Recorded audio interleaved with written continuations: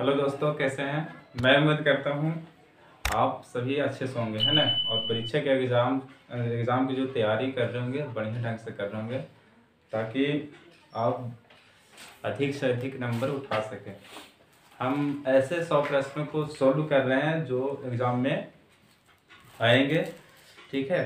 तो हमने पार्ट आठ तक, क्वेश्चन नंबर चालीस तक हमने सॉल्व करा दिया। आज हम क्या करेंगे? क्वेश्चन नंबर इकतालीस सॉल्व करेंगे। ठीक है? तो आप अपना कॉपी, पेन निकाल करके आराम से बैठिए, है ना? और जो मतलब कि लगे कि अच्छा क्वेश्चन, उसको आप क्या कर लीजिएगा, नोट कर लीजिएगा ताकि जो एग्ज़ाम की जो लास्ट टाइम जो होगा, दस दिन, पंद्रह दिन, है ना? तो उसको रिवाइज करने में आपको क्या होगा? मदद मिलेगी। चलिए तो क्वेश्चन नंबर इकतालीस। आपको स्क्रीन पर क्वेश्चन दिखाई पड़ा होगा है ना? इकतालीस का आता है कि तीन आठ तेरह डॉट डॉट दो सौ तिरपन में अंतिम पद से बीसवा पद ज्ञात करें। एपी का क्वेश्चन है, समांतर श्रेणी का क्वेश्चन नंबर इकतालीस। ठीक है? क्वेश्चन नंबर इकतालीस कहता है, तीन आठ तेरह डॉट डॉट दो सौ तिरपन। कॉपी भी सब छोड़ के। में अंतिम पद से। जितना जल्दी अंतिम पद से बीसवा बीसवा पूछ रहा है कि बीसवा पद क्या होगा? ठीक है तो वहाँ याद रखना सबसे पहले हमको मालूम होना चाहिए यहाँ से कि एक के मान कितना होगा? तीन। ठीक है? सार अंतर की अगर बात करते हैं तो सार अंतर T two minus T one यानी टी टू में से टी वन को घटाइए। तो टी टू में से टी वन घटाएँगे, आठ माइनस तीन करेंगे तो कितना आएगा? पाँच। लेकिन याद रखिएगा, यहाँ पे क्वेश्चन में कहा है अंतिम से। अंतिम से कहता है, ठीक है? तो अंतिम से यहाँ से कहेगा तो अंतिम से ए नहीं लेना है, ठीक है? अंतिम से जो लिखा हुआ रहेगा अंतिम में, वो होता है ए का मान ठीक? तो यहाँ से ए का मान जो होगा सो कितना होगा? दो सौ तिरपन। सार अंतर की बात करते हैं तो सार अंतर अगर अगर अंतिम में कहे, अंतिम से, अगर प्रश्न में आ जाए क्वेश्चन में कि अंतिम से क्या होगा तो सार अंतर अगर हम लोग निकालते हैं, अगर T two minus T one, ठीक है? तो T two minus T one करते हैं, लेकिन अगर अंतिम से कहता है तो T one minus T two करेंगे, ठीक है? यहाँ से करते हैं तो तीन माइनस आठ, बराबर माइनस के पाँच। याद रखेगा कि सार मंत्र जब अंतिम से कहता है तो सार मंत्र को निगेटिव मिल लेते हैं। ठीक? कैमा पद कह रहा है, बीसवा पद, यानी एन का जो मान है से बीस दिया गया। और एन बराबर फॉर्मूले याद होना चाहिए। एन बराबर A plus N minus one into D T कितना पूछा है? बीस। तो टी बीस लगा दीजिए ठीक है? ए ए के मान दो सौ, तिरपन प्लस एन एन के मान बीस माइनस के वन गुने में सार बनता है अर्थात सार बनता है, यहाँ देखिए कैसे में माइनस में। तो माइनस मिलेंगे, ठीक है? टी बीस बराबर दो सौ तिरपन प्लस गुना कीजिए। तो बीस में अगर माइनस पाँच से गुना करते हैं, नहीं तो पहले इसको पहले क्या करिए, घटाइए, ठीक है? तो बीस में से एक जाएगा तो प्लस के उन्नीस गुने माइनस पाँच। टी बीस बराबर दो सौ तिरपन। अभी प्लस में माइनस में गुने करिएगा तो उन्नीस बचे पंचानवे माइनस में। ठीक है? तो टी बीस बराबर दो सौ तिरपन में से हम पंचानवे को क्या करेंगे? घटाएँगे। तो आठ पाँच तेरह, यहाँ चार बचेगा, है ना? चौदह तो नौ, पाँच, यहाँ यानी एक सौ ठीक है? अब चलते हैं क्वेश्चन नंबर बयालीस।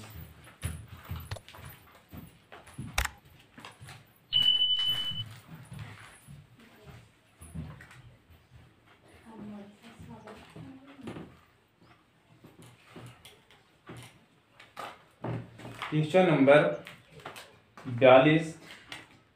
कहता है कि एपी को ज्ञात कीजिए। एपी ज्ञात करना है, जिसका पांचवा पद पंद्रह तथा तीसरे और आठवें पदों का योगफल जो दिया गया है, वो कितना है? चौंतीस है। ठीक है? तो यहाँ से देखिए। क्वेश्चन नंबर बयालीस। पांचवा पद पंद्रह, हम तो इस तरह से लिख सकते हैं कि टी फाइव बराबर पंद्रह। यहाँ से अगर हम इसका समीकरण निकालते हैं तो ए प्लस टी पाँच है, ठीक है? तो टी पाँच, एक घटाइए पाँच में से तो चार। चार में डी से गुना करिए तो चार डी बराबर कितना दिया गया है? पंद्रह। तो समीकरण यहाँ से फ़र्स्ट आ गया हमारा। ए प्लस फोर्टी बराबर कितना? पंद्रह। अब आगे कहता है कि तीसरे और आठवें पदों का योग। तीसरे से टी थ्री योग कहा है तो प्लस के देंगे। और आठवें पद तो टी आठ का योग जो है, वो कितना है? चौंतीस कितना है? चौंतीस। ठीक है? आप यहाँ से क्या करते हैं? एक और समीकरण निकालते हैं। तो टी थ्री के अगर समीकरण निकालते हैं तो टी थ्री पहले ए होगा, है ना? थ्री है तो एक घटाइए, दो से गुना करिए तो टू डी। तो टू डी प्लस आठ है है ना? टी आठ। इसका अगर समीकरण लिखते हैं तो ए प्लस के आठ में से घटाइए सात और डी से गुना कर दीजिए। यानी ए प्लस सात डी बराबर कितना? चौंतीस। ठीक? अब इसको क्या करिए? ए ए कहे टू ए हो गया। यहाँ टू डी ए प्लस सात डी मिल के नौ डी होगा, है ना? और चौंतीस के चौंतीस। ये हो गया हमारा समीकरण सेकेंड। ठीक है? तो एपी पूछ रहा तो एपी निकालने के लिए है ना एपी को लिखने के लिए सबसे पहले हमको प्रथम पद और सर्वांतर मालूम होना चाहिए। तो समीकरण हमारे पास दो ठो हो गया, एक पहला समीकरण भी सेकेंड है। ठीक है तो इसे हम क्या करेंगे सॉल्व करके ए और डी का मान लाएँगे। लिखेंगे समीकरण एक तथा दो से ठीक है? तो ए प्लस फोर डी बराबर कितना था समीकरण फ़र्स्ट? पंद्रह। समीकरण सेकेंड है टू ए प्लस नौ डी बराबर के चौंतीस। अब यहाँ देखिए, आप लोग दो चर वाले रैखिक समीकरण के सोल्व किए होंगे। दो समीकरण आ गया। पे देखिए कि अगर आप ए को बराबर करना चाहते हैं तो है ना? तो ए के कर सकते हैं, या फिर आप डी को करना चाहते हैं तो डी के भी कर सकते हैं। लेकिन यहाँ देखेंगे तो सिर्फ़ एक ए है, यहाँ टू ए है। तो क्या करेंगे समीकरण वन में दो से गुना कर देंगे। तो टू ए हो जाएगा। और लिखना पड़ा है ना? लिखना पड़ता है, जब प्लस प्लस में होता है तो लिखने पड़ता है समीकरण एक तथा सेकेंड को घटाने पर। तो अब गुना करते हैं, ठीक? तो गुना करने के बाद हो जाएगा टू ए प्लस चार दुना आठ डी बराबर पंद्रह दुना तीस। ठीक है? अब टू ए है प्लस ये अलग है। ठीक है? टू ए है प्लस नौ डी बराबर के चौंतीस। अब क्या करते हैं इसको? जब घटाने पे लिखेंगे ना तो चिन्ह को चेंज हो जाता है नीचे वाला का चिन्ह। ई प्लस में तीन माइनस में ई प्लस में तीन माइनस में ये कटेगा, ठीक है? अब यहाँ हो गया नौ डी और आठ डी माइनस में हो गया प्लस में तो घटेगा तो माइनस के डी बचेगा। बराबर माइनस चौंतीस में से तीस को अगर ऐड करते हैं तो माइनस कितना? चार। माइनस माइनस कैंसिल डी का मान कितना आ गया? चार आ गया। ठीक है? डी के मान आ गया चार। अब लिखेंगे कि समीकरण फ़र्स्ट में डी का मान रखने पर, ठीक है? तो ए प्लस चार डी बराबर कितना? पंद्रह।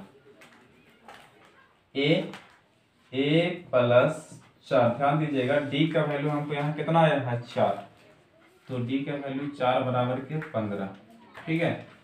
ए प्लस चार चौके सोलह बराबर पंद्रह। ए बराबर पंद्रह प्लस में उधर जाएगा माइनस में, यानी कि माइनस के वन।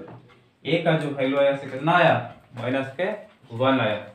तो हमारा यहाँ पे प्रथम पद हमको ए और डी की ज़रूरत पड़ता है तो पहला पद जो है माइनस टू वन। अगला पद अगर निकालेंगे तो प्रथम पद में, है ना, सार मंत्रों को जोड़ा जाता है। तो माइनस वन और प्लस अगर सार करते हैं तो कितना? तीन। अब तीन में प्लस चार करेंगे तो कितना? सात। सात में प्लस चार करेंगे तो ग्यारह। इस तरह से हमारा जो क्या है ए पी बनकर तैयार हो गया, है ना? अब समझ गए मैं करता हूँ। चलिए तो क्वेश्चन नंबर तैतालीस।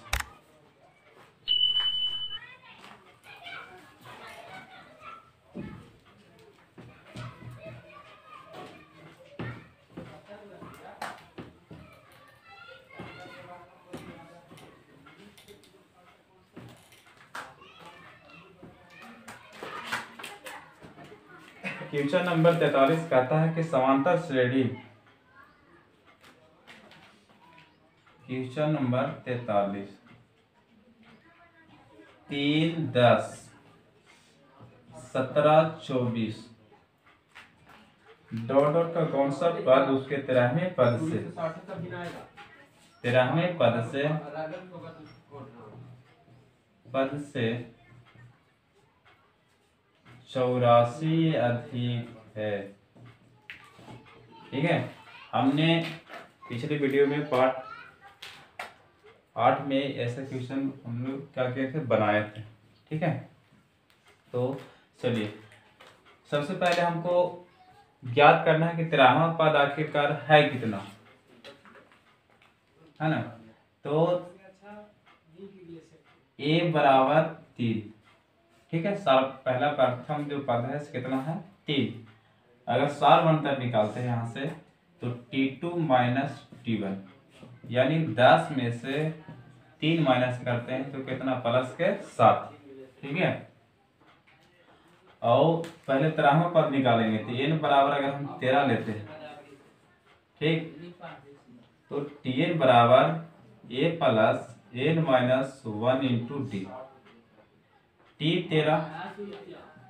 तो टी तेरह अगर निकालते हैं तो ए एक का वैल्यू देखिए, तीन है। प्लस तो प्लस करिए एन का वैल्यू कितना? तेरह माइनस के वन और सार प्लस कितना है? सात। ठीक है? टी तेरह हम याद कर रहे हैं तो टी तेरह इधर लिख देंगे। तीन प्लस तेरह में से वन को माइनस करेंगे तो बारह। और गुने में सात। ठीक है? तो टी तेरह बराबर तीन प्लस बारह सतह चौरासी। और प्लस अगर स्क्वायर करते हैं, कितना? सतासी। जो तेरहवा जो पद है, से कितना होगा? सतासी होगा। ठीक है? लेकिन पूछ रहा था कि एपी इतना का कौन सा पद? पद कहा है? एन का वैल्यू पूछ रहा है कि कौन सा पद तेरहवें पद से कितना अधिक होगा? चौरासी अधिक होगा। तो तेरहवा पद आया है सतासी। ठीक है? तेरहवा पद कितना है? सतासी। तो कौन सा जो पद होगा ना, से तेरहवें पद से कितना अधिक होगा? चौरासी अधिक होगा।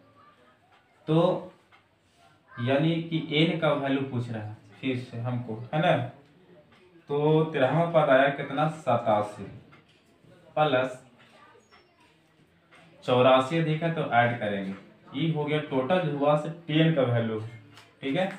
तो यहाँ से अगर निकालते हैं तो A plus N minus one into D इसको जोड़ दीजिए तो सात, चार, ग्यारह, आठ आठ, सोलह, एक, सत्रह, एक सौ इकहत्तर। बराबर? ए का वैल्यू कितना है? तीन है। एन का वैल्यू पूछ रहा था कि कौन सा पद जो है तेरहवें पद से चौरासी अधिक होगा। तो इसीलिए हम तिरासी, तेरहवा पद जो आया था, से सतासी आया था, और सतासी में हम चौरासी को ऐड कर दिए। तब हमको पता चल जाएगा कि कौन सा पद जो होगा उतना अधिक होगा। तो एन का वैल्यू वन एन रहेगा, है ना? गुने में चार बनता डी डी का वैल्यू कितना आया था? सात आया था। तो सात। एक सौ इकहत्तर है। प्लस के इधर लेकर आइए माइनस में। बराबर सात में इसको गुना करेंगे तो सात है, और माइनस के कितना? सात। अगर इसको हम घटाते हैं तो एक सौ अड़सठ। ठीक है? बराबर के सात एन माइनस सात, एक सौ अड़सठ। अब इधर ला करके इसको क्या करिए? घटा दीजिए। सॉरी, जोड़िए इसको, है ना? माइनस में इधर अगर तो जुटेगा। इधर कितना? सात टेन तो आठ सात, पंद्रह, पाँच हाथ में एक। तो इसको अगर जोड़ते हैं तो एक सौ पचहत्तर, बराबर के सात है। सात से इसको काटिए तो सात दूना के चौदह तीन बचेगा पैंतीस, सात बचे पैंतीस। यानी एन का जो मान आया इसे कितना आया? पच्चीस। है ना? जो पच्चीसवां पद होगा सत्रहवें पद से कितना अधिक होगा? चौरासी होगा अधिक होगा ठीक है? अब क्वेश्चन नंबर चौवालीस। तो अब क्वेश्चन नंबर देखिएगा, चौवालीस जो है ना, चौवालीस थोड़ा सा गलत टाइप हो गया है। क्वेश्चन नंबर हम लोग पैंतालीस को सॉल्व करेंगे। एपी का सत्रहवा पद, उसके दसवें पद से सात अधिक है। एक एपी है जो कहता है कि टी सत्रह जो है टी सत्रह, है ना, उसके दसवें पद से सात अधिक है। टी सत्रह जो है से टी दस से सात अधिक कहता है। ठीक है? तो इसका पूछ रहा है सार बंतर क्या होगा? सार बंतर तो अगर यहाँ से करते हैं टी सत्रह समीकरण निकालते हैं तो ए प्लस सोलह डी ठीक है? माइनस टी टेन का अगर समीकरण निकालते हैं तो ए प्लस दस में से एक को घटाइए तो नौ डी और बराबर के साथ तो ए प्लस सोलह डी माइनस प्लस माइनस के ए होगा। माइनस प्लस माइनस नौ डी बराबर ये माइनस प्लस एक क्या होगा? कटेगा। ठीक है? तो प्लस में सोलह डी माइनस में नौ डी तो सोलह में से नौ जाएगा तो सात डी बराबर कितना? सात। सात से सात कैंसिल एक बार में, यानी डी का मान कितना होगा? एक होगा। ठीक है? मैं उम्मीद करता हूँ आज का जो वीडियो होगा अच्छा लगा होगा तो अपने दोस्तों के साथ शेयर करिएगा लाइक करिए और सब्सक्राइब करिए ताकि हमारा जो अगर वीडियो बनता है तो सबसे पहले आप तक तो ही पहुँचेगी, ठीक है? तो इसी तरह के क्वेश्चन हम अगले बार भी लेकर आएँगे नेक्स्ट वीडियो में, ठीक है? तब तक के लिए हिंद। को कितना बताए कोई? ऐसे तुझे से दिल ना लगा।